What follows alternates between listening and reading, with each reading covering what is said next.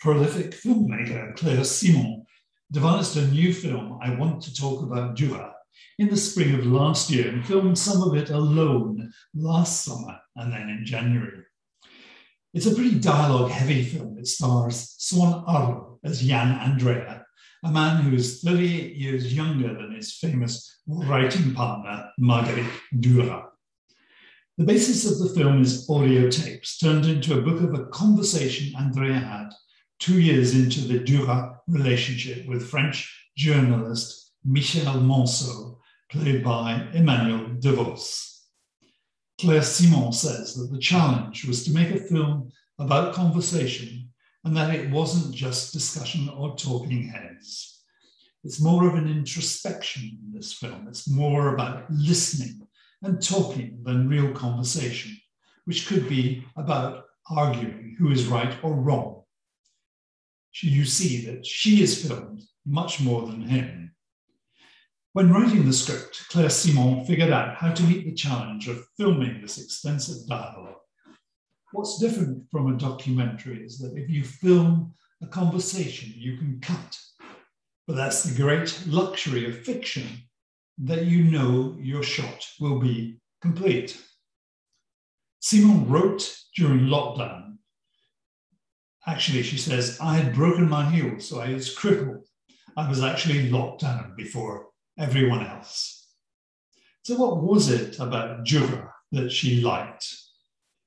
I loved her, she says, because she's such a very good portrait maker.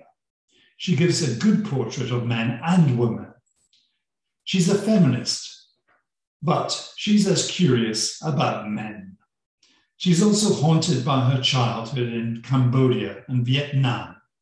It's always about her. That's her great strength.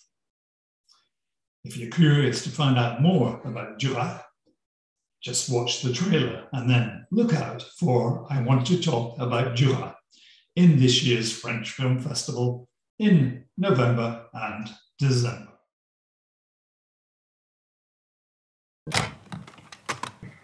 On va faire l'interview que tu m'as demandé. Je sais pas comment l'aborder. comment aborder le personnage euh, du race pour moi. Peut-être par ta fascination. Tout de suite, ça a été euh, le texte qui m'a complètement séduit et ça m'est tombé dessus. Et bon, après, évidemment, j'ai lu écrit très souvent, toujours sans réponse. le seul mot qui revenait, c'est ça je vous aime. Puis comme ça, une fois, j'ai reçu une lettre. Elle aussi, d'une certaine façon, vivait cette passion-là. C'est drôle de voir s'amener quelqu'un chez vous comme ça, qui est prêt à tout plaquer, son travail, sa maison.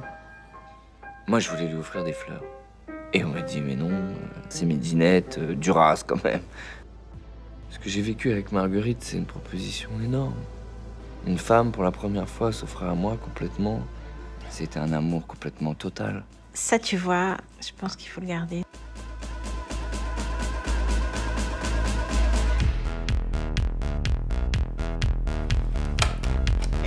J'ai envie de baiser, baisez-moi.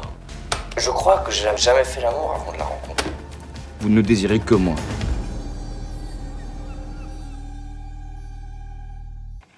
Non, mais c'est extraordinaire.